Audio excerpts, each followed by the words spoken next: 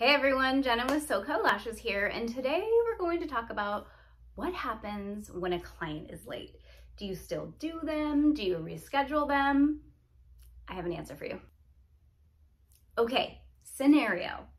Your client walks in 17 minutes late and you see her walk in and you're like, oh, nice to see you. I did not think you were coming. And she just walks in nonchalant and says, oh my gosh, I'm so sorry. I'm just a few minutes late. And you're like, yeah, like, like 17 minutes late. I didn't think you were coming.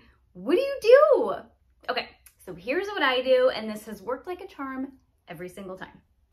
What I say is, okay, shoot, let's get started. And they're like, oh my God, I'm so sorry. And then what I say is, oh my God, it's your two hours. You could do whatever you want. That if you want to spend it in Starbucks, totally up to you. And then they're like,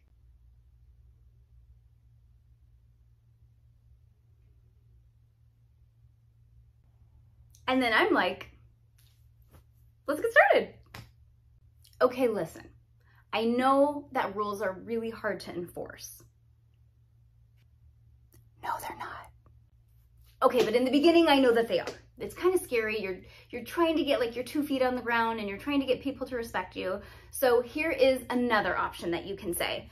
When you very first book a client, this is what you should always tell them okay, so I have a, 24 hour cancellation policy. I had a 48 personally, just because oftentimes you can't always fill an appointment in 24 hours.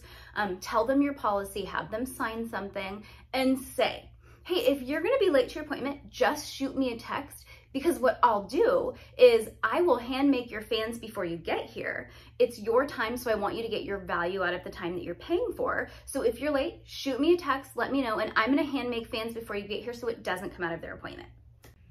See, the thing is, in this business, I think in a perfect world, we would like to say our clients are always on time, they always show up, but people are human. I have forgotten about appointments. It happens. But as long as you're approaching this in a professional, respectful, friendly way, and you're treating your clients like humans and you're not taking out, you know, a no-show that you had yesterday on them, be mindful that they're going to make mistakes sometimes. And as long as everybody's respectful of each other's time, it's really, really easy to fix. Make their fans beforehand, have clear communication, tell them beforehand in their first appointment what your expectations of them are, and then what their expectations of you should be. This is a two-way street. A little communication goes so far. And, you know, hopefully this way you're not going to lose out on any, any money. Um, I know I've heard some people say they're like, oh no, I cancel appointments why? Why would you, that comes out of your pocket. Now you're punishing yourself. I've never canceled an appointment. Even if somebody comes before I started making handmade fans and I had to, or rather crystallizing them, I didn't know how to make them before and put them on after, I would still give them the rest of their service. I would only give them 30 minutes and they still paid me.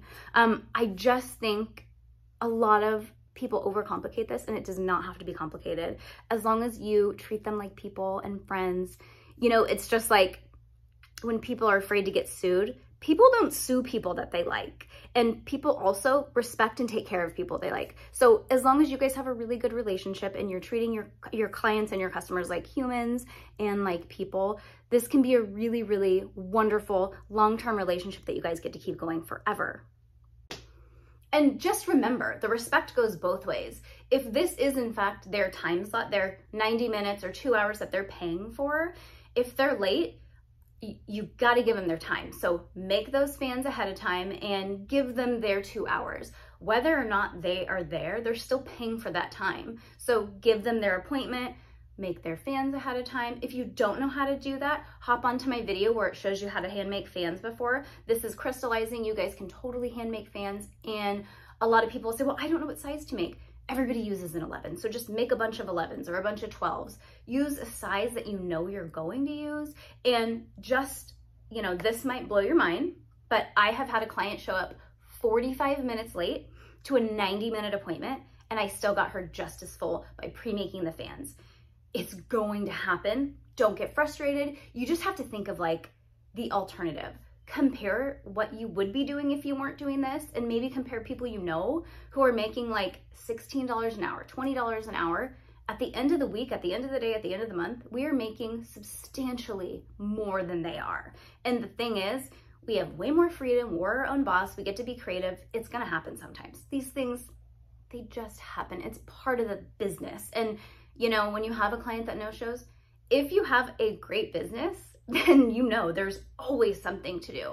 If you have a no show client who, you know, is not being respectful and they completely, completely don't show up, um, I would do this. Okay, so I've had two types of no-shows before, or maybe like a, a, cancellation two minutes after their appointment or five minutes after their appointment. What I do is this. Hey, oh my gosh, I hope everything's okay. Um, here is my Venmo link or Cash App or whatever, however you guys do digital payment. Um, as soon as you take care of this appointment, we can go ahead and reschedule you for the next one. I hope everything's okay. And sometimes they maybe won't respond. Um, and sometimes for me, 90% of the time, right away they pay their appointment. Or maybe it's a couple hours, but they always end up paying it because I've built a really respectful, solid base with my clients and they know like this is how I pay my bills. And I really put a lot of work into my clients. I try and do full coverage. I give them free extra time all the time. They know the value that I put into this and how much love I put into this. And it's a really two-way respectful relationship. So if you say, get an appointment that just no call, no show, no response, this is what I do. Okay, so hopefully you work in a salon and hopefully you have a really good relationship with outside salons. What I do is if a client no shows, no respond, nothing, immediately I go into my phone and into my booking system and I put in front of their name, no show or NS, whatever is easier for you. In the notes, I'll say, no showed appointment, um, October 27th at 10 a.m., balance to Jena, $125, whatever your fee is, uh, or rather not fee, price for your appointment, whatever they owe you for the appointment.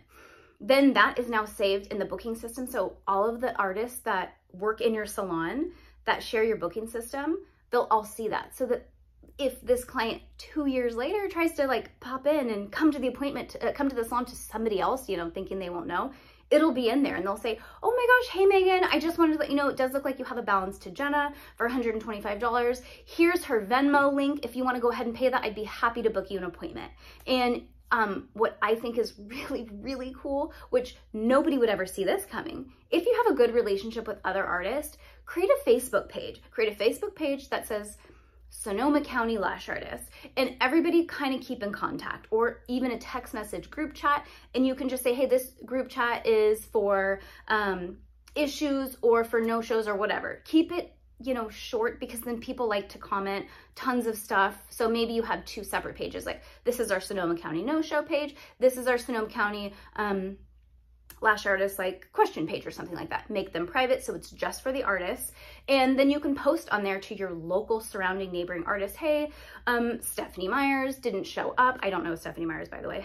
Stephanie Myers didn't show up on uh, uh, September 16th at 10 a.m. Can you guys, you know, change her in your um, books or in your system? Thank you. That way everybody has each other's back. So when this person maybe reaches out to another artist who does work similar to you, which typically when you do a certain style, those are the artists that you kind of like surround yourself with. So when they reach out to Rebecca to get a, a set or a fill, Rebecca's gonna say, oh, hey, Stephanie, um, my name's Rebecca. I was just responding to you. It looks like you have a balance owed to Jena for $125. I would love to book you. As soon as you take care of that, just go ahead and screenshot that and let me know, and I'd love to get you booked in my books. It's that easy. You know, I teach a lot about community and working with the neighboring artists, and there is always going to be that salon or this girl or a group of girls that don't want a part of it. It is what it is. What I say to that is eventually they will want to be a part of it. And eventually they're going to feel left out because all of these artists are just friends and they're getting coffee on the first Sunday of every month or whatever it is that you guys do. I think that community is a huge answer to a lot of our problems.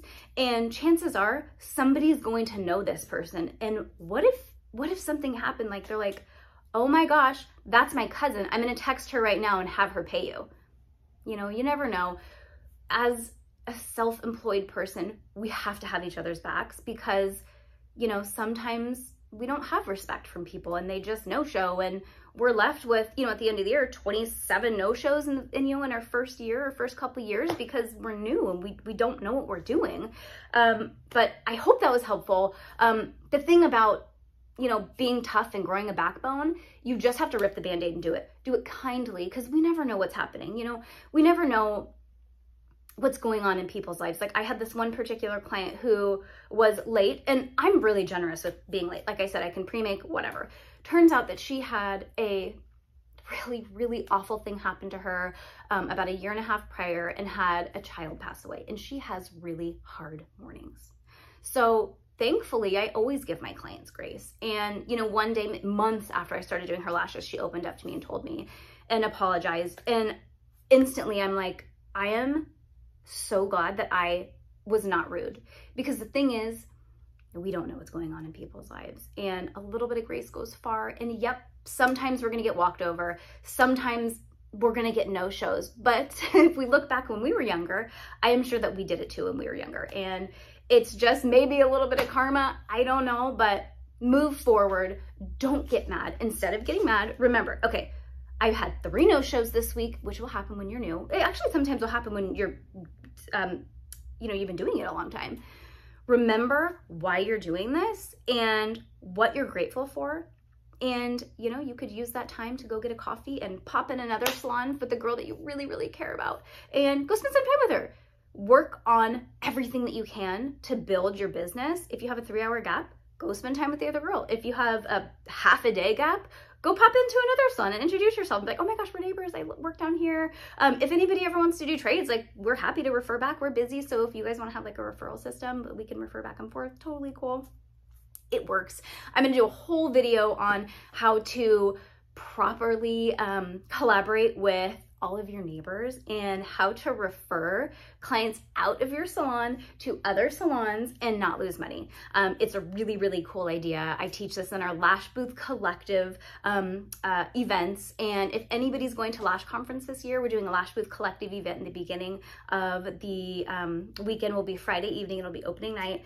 And I can't wait to see everybody. We've already sold a good amount of tickets. And I just think that you know, if you guys follow SoCo Lashes, you know that I'm really big on community. And I just think that if everybody can just get to this point quickly, man, life changes, your business changes, and you lose that sense of like, like you, there's always that girl that you're like, I hate her. She's so good. she's taken four of my clients. It's probably because she's better than you. And the thing is, everybody's in the same boat. And if we just learn to like live with each other and, um, you know, collaborate and work with each other properly, it's going to be so much easier and you're going to love your job. Um, I'm also going to do another video on um, like what to do when somebody posts a video of your work that isn't good and it's obvious because I've had that happen to me and I had another lash artist reach out to me recently and the first thing I said was, oh my God, this has happened to me. Do not worry. Um, and if you guys have anything that has happened to you, DM me on Instagram and I would love to dedicate a video to you. Um, I actually have a list of dedications that I need to do, but it kind of needs to pair up with clients. Um, and I don't really lash full time anymore. So I'm trying to get my like information business videos out of the way. But if you have um, a request or if you're having an issue, I would love to dedicate a video to you. Um, I've been in the industry for uh, I think April was, I hit my 22 year mark. So I am uh, going into my 23rd year. I've been lashing for, I cannot for the life of me remember the date, but it's either, I, am a right around a decade. Um, and yeah, and that's, uh, that's pretty much it. All right. If you have any questions, I hope this video was helpful. Comment them below and see you next time.